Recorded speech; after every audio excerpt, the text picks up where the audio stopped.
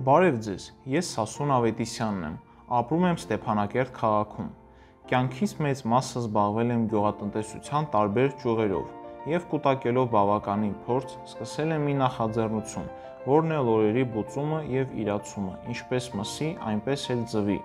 Այս որոշումը կայացրել եմ հաշվի առնելով իմ հմտությունները եւ շուկայի պահանջարկը։ Ստեփանակերտի մերձակայքում, Աչափնյակ թաղամասում ունեմ սեփական հողատարածք, որտեղ կառուցված են 4 առանձին շինություններ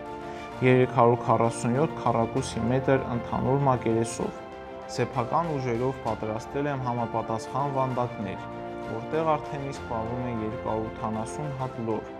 Աջակիցների շնորհիվ պլանավորում եմ իրականացնել շինության պայմանների բարելավում, ինչպես նաև ձեռք կբերվեն աշխատանքի ավտոմատացման եւ արդյունավետության համար անհրաժեշտ համապատասխան սարքավորումներ եւ պարագաներ,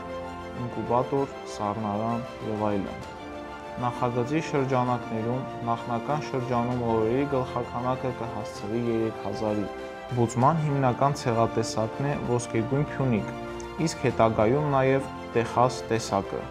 Ներկա պահին լորի մսի պահանջարկը շուկայում բավարարված չէ, իսկ տվյալ նախաձեռնության շնորհիվ շուկայում հասանելի կդառնա էկոլոգիապես մաքուր, դիետիկ տեղական ապրանք։